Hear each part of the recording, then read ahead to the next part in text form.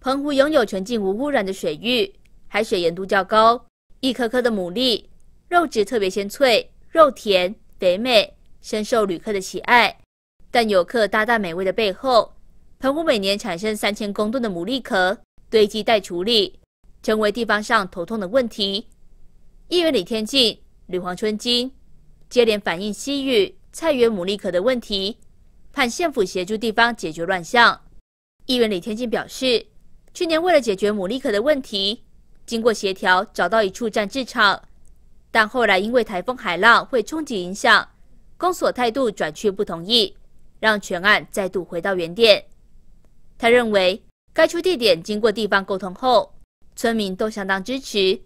眼看牡蛎产季即将来临，他希望由副县长出面协调，并建议用消波块阻隔或是更好的方式，让牡蛎壳在今年顺利解决，甚至找出一劳永逸的方式解决地方的困扰。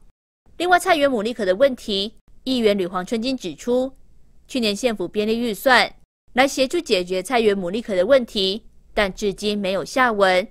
现在观光季到，牡蛎壳将大量产生。希望县府加速了解问题的症结，尽速完成清理。农业局长胡刘宗表示，农业局相当关心牡蛎壳的问题，也一直与公所沟通，保持联系。